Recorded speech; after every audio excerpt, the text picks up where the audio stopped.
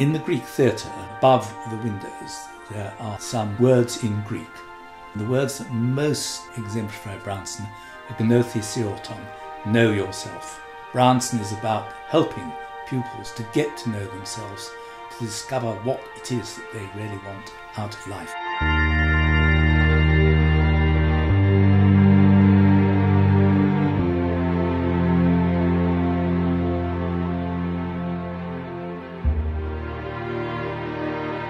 Bryanston was a school which opened opportunities to children to find things in themselves which they didn't necessarily know they had and to develop them in ways which have been very important to their ultimate growth. But it's not simply a statement of what Bryanston was. My experience in relation to my youngest daughter in particular who went from being a girl whom nobody expected to have any athletic ability to becoming a junior international, suggests that Bryanston is doing exactly the same thing for the present generation of pupils.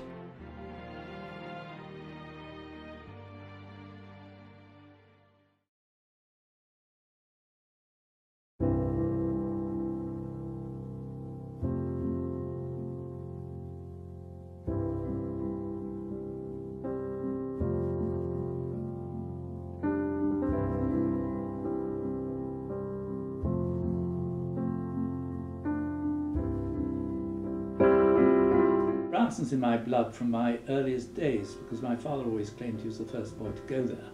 And he talked a lot about the school. He'd obviously enjoyed it enormously. Uh, it, it was a pretty wild place, I think, when it started.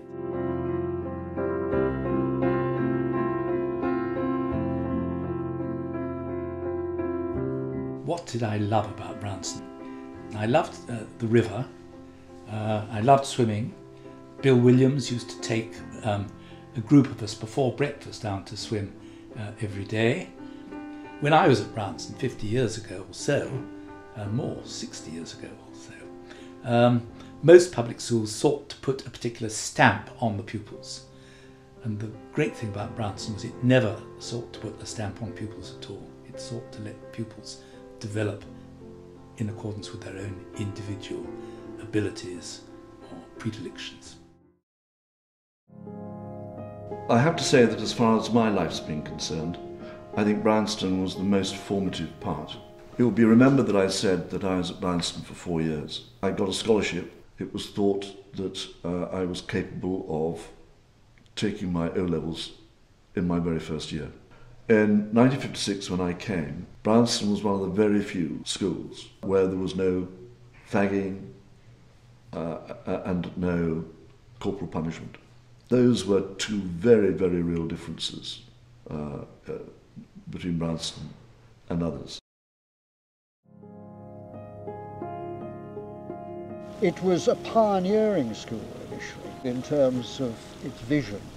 Uh, Coade was a visionary. He led it uh, into uh, new, uh, new waters as far as schools were concerned. People here were enjoying life.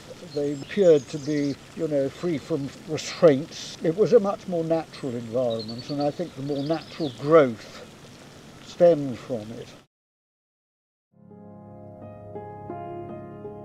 I mean, for me, I suppose the, the sense was having been brought up here and lived here in this wonderful environment. What was great about coming to Bryanston after having been at a rather old-fashioned but very nice and kind prep school was how natural it all seemed. One simply seemed to be going on, sort of living one's life in a school context as one had before. It didn't matter what you were good at. Pottery, rugger, music, Latin, didn't matter.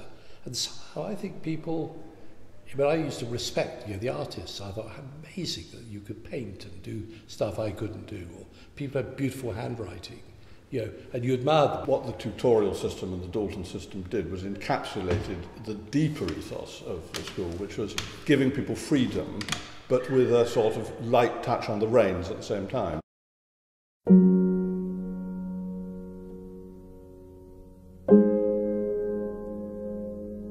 Thorold Coade was a caring and kind and very gentle person. he came into the school when it was extremely young. The headmaster, the founding headmaster had left. So Coade came in. He was a marvellous choice. He just, it, partly it was this environment uh, and partly the fact that he had something new which he could mould, I suppose. He had a, a, new and pioneering staff because they all came to teach here from other schools and they, it was in a way quite a risky school, must have been to begin with because it could have gone either way. In the relatively early days, um, when Bryanston was regarded very much as sort of avant-garde, completely off the wall and, uh, and very extraordinary, some parents thought they quite liked the idea of the school and came down to suss it out and um, came down a little bit early before their interview with the, the various members of the staff and wandered around the grounds and found this old gardener wearing a very, very baggy leather patch jacket um, pootling away amongst the roses or whatever it was. And they thought it was always useful to get a bit of local knowledge, so they would ask the, the gardener um, a few questions about the school. And rather provocatively, the father said, um, to the gardener. Um, is it true that Bryanston is the school where the headmaster runs naked with the pupils amongst the bushes? And the supposed gardener replied, Oh no, I gave up running years ago. Saul would wander rather vaguely up and down uh, the corridor with one hand characteristically tucked in his jacket pocket, uh, a bit untidy, uh, vague. Uh, but he made an enormous impression, I think, on those who were there. I think it was Coade. Was it Coade who said, somebody said, oh, Bryanston's a school where people do what they like. He said, no, on the contrary, it's a school where people like what they do.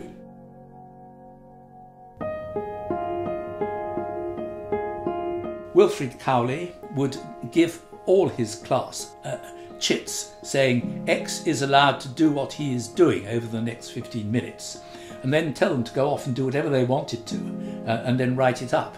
Uh, and I remember one boy came cycling around the library uh, to the fury of, of uh, a rather stricter uh, master called Carpenter Jacobs.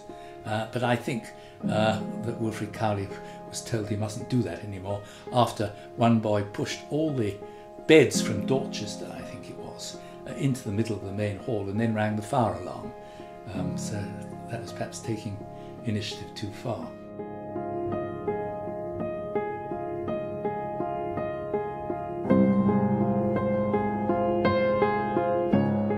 Cowley, of course, was an amazing character um, in all sorts of ways, both how he taught, what he did. I remember going to Millfield to play tennis against the Millfield second team because their first team were sort of headed for Wimbledon.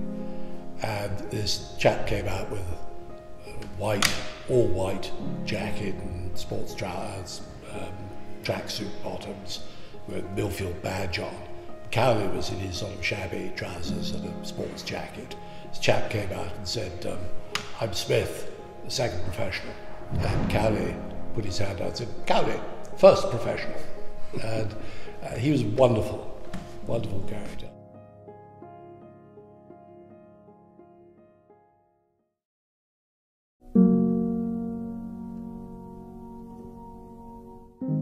Used to have these triangular athletics matches between Bryanston, Canford, and Sherborne, with a scoring system that was so Byzantine that nobody could ever understand it. So Bryanston always won. I never forget, you know, the end of sort of three quarters of the way through, where Sherborne had come first in a race, Canford had come second, and we'd come third. And Tarraway, with a slightly nasal voice, saying, uh, the result of the 4 by 400 metre relay is uh, first Canford, second Sherborne, third Bryanston, this event does not count for the competition. uh, that way, I think they went something like 15 years without ever losing an athletics match. He still managed the same thing with cross country. they always won the cross country. Don't know how he did it, but he was a great character as well.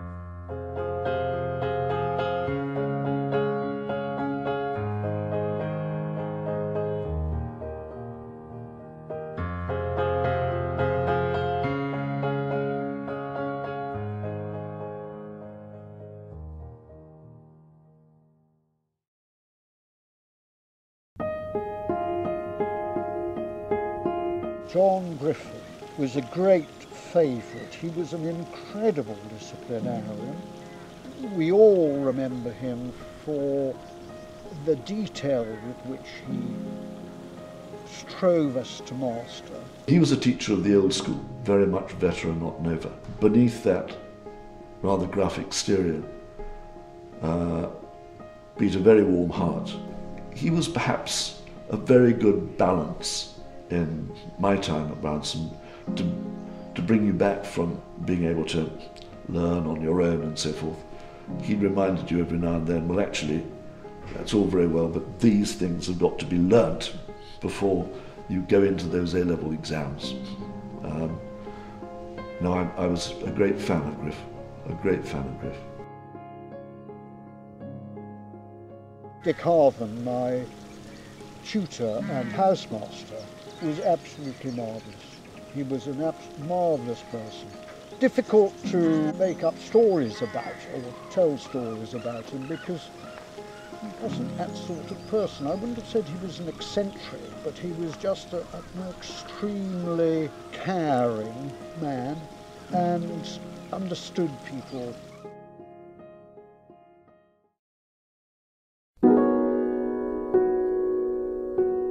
Eric Bramall, what did one remember about Eric Bramall? Saturnine, handsome. Uh, he'd been there from the start and had a suite of rooms in Shaftesbury, which I think were very elegantly furnished. He was well off. He, he left his uh, estate to the school, and Bramall Building, now pulled down, uh, was named after him. But he also had Jaguar cars, which he changed every two or three years. Uh, and in those days, uh, on one's free afternoon, you'd walk to Bryanston. It was always a toss up whether you kept on the drive in the hope of being picked up, particularly picked up by Eric Bramall in his Jaguar, or took the river path.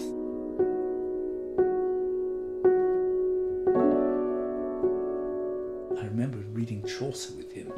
I'd been told by my parents that Chaucer was extremely racy, and I had to explain the meaning of, of maestres had he more than thrice twenty and I said he had more than 60 mistresses. Um, but in fact, these were masters in his counting house, and somehow Eric Bramall kept a straight face.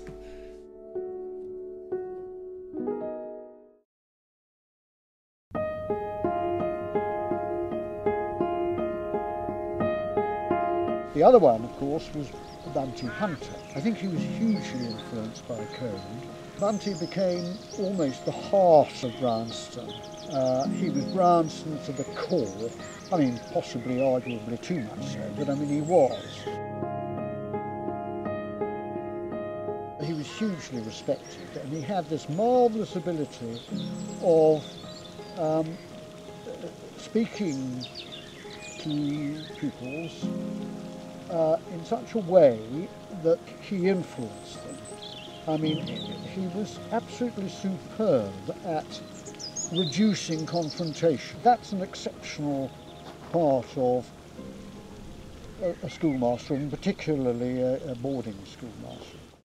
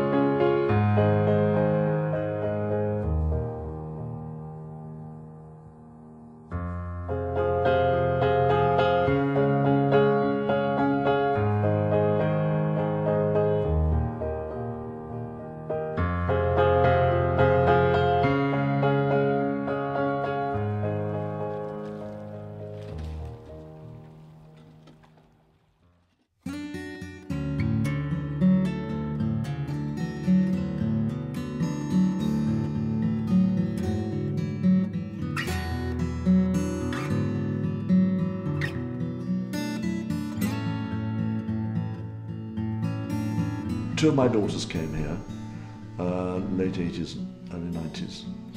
One of the things that intrigued me was how in many ways things hadn't changed. I mean, the atmosphere of the school seemed to be very similar in terms of the way the children behaved to each other, atmosphere between teachers and students and so on. In the 50s, it had a remarkably all-round education. I mean, it wasn't just sport. Uh, academics and sport, with sport being the priority. Very broadly across the country, uh, public schools have learnt from Bryanston and others and have changed much more towards this line in terms of the tutoring and the creative arts interest. I think the essence of Bryanston stayed the same. I feel at home when I go there now. I felt at home when I had children there. Um, the same spirit. What's very different, I think, is not something that's just happened to Bryanston, but happened in general. There is very much more wealth around. People have many more possessions. In those days, um, any professional person uh, could afford to send one or two children uh, to Bryanston, whereas now you have to be really um, fairly well off. 2008, after I'd done 60 years, I finally persuaded governors to let me have a rest. and I still chair the Bryanston Foundation. And that's becoming a really important part of my life because I really, really want to see us grow the foundation. The whole object of the foundation is to provide money so that the ultimate dream would be that Bryanston would be needs blind, that you know, the size of income of the parent didn't matter. Now, that's an impossible dream within many generations, but that's got to be the vision.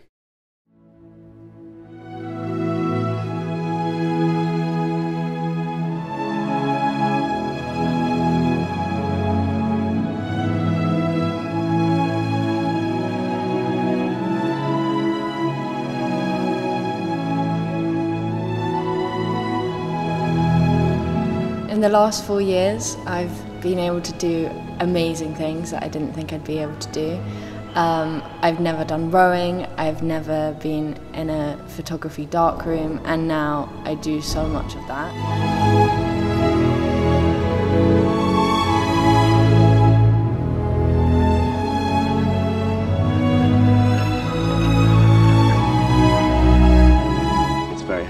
Have all the one-on-one contact that you have with your teachers when it comes to correction periods. It's unparalleled in getting feedback when there's just one-on-one. It helps uh, understanding of the subject, but it also helps your relationship with the teacher. Education at Bryanston is so much wider uh, than simply book learning. You learn to learn, that's one aspect of the Dalton system. But there are so many other activities at Bryanston open to those who want to take advantage of them.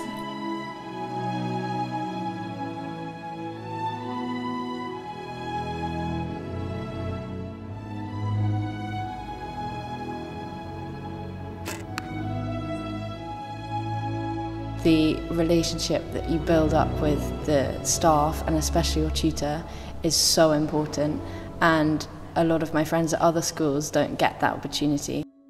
He's helped me throughout the whole time I've been here.